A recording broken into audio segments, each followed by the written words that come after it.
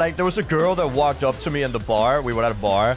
She just walked straight up to me, looked me. She she grabbed my face, looked me in the eyes, and said, "You look so much like Captain." Fuck! I cannot believe it. It is so bad. Yeah. Okay. Fine. Free subs. That is so stupid. Honestly, I'm okay. I'm gonna give 10 subs. I promise I'd give 10 subs if I did it, okay? So here goes 10 subs to you guys. I'm so sorry for pressing the button. Like, literally, that was a misclick. I did not mean to do it. Usually, when I click the button, I mean to do it. There, I didn't. I didn't mean to do it. That's my bad.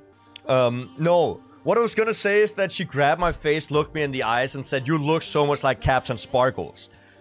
I didn't know how he looked, so she googled him for me, and I was like, "It's not actually that wrong.